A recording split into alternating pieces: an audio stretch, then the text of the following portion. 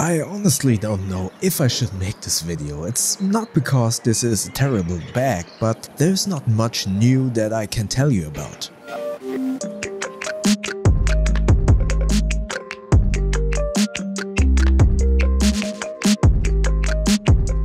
This is the Evergoods CHZ26, the bigger brother of the CHZ22 that I reviewed a couple of years ago. The review of the CHZ22 you can find in the info tab above. Instead of repeating everything mentioned in that video, I will just go over the updates. Which there aren't that many, but they are well worth it.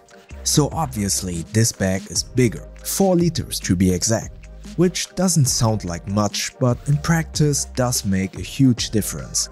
One gripe that I had with the smaller CHZ22 was the narrow opening which made loading and unloading sometimes a bit more difficult or cumbersome.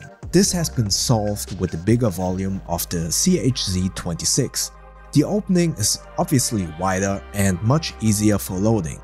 And on this open main compartment you can see another addition which is the small mesh compartment. This downward orientation of the zipper opening is great because the opening now faces you when the top lid is open. But that's basically it, bigger volume and another small compartment. So as mentioned in the introduction, not much that would actually grant a completely new video. However, I have to say that this increased volume makes the bag so much more practical for my everyday carry uses without being that much more visually bulky on my back compared to the CHZ22.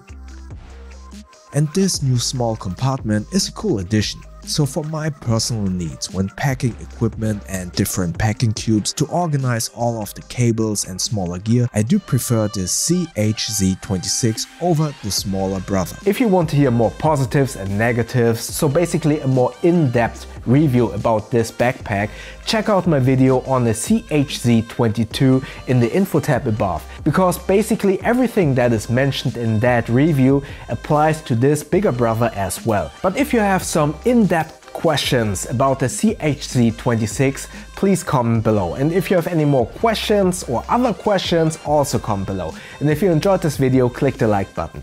And please feel free to subscribe to my channel and click that little bell icon so you won't miss the next videos. Also check out my Instagram at you know the Bo. Stay safe and healthy everyone and thank you very much.